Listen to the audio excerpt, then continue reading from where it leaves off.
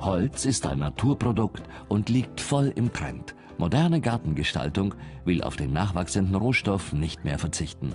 Besonders im Freien gibt es vielfältige Verwendungsmöglichkeiten, zum Beispiel als Sicht- oder Lärmschutz, Carport oder als Terrassenbelag.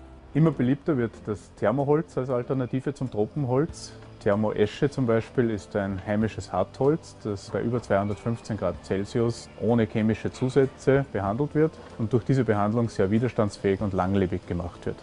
Holz schmückt jeden Garten und jede Terrasse. Diesen Servicetipp widmet Ihnen der Holzhandel in der WKO Oberösterreich.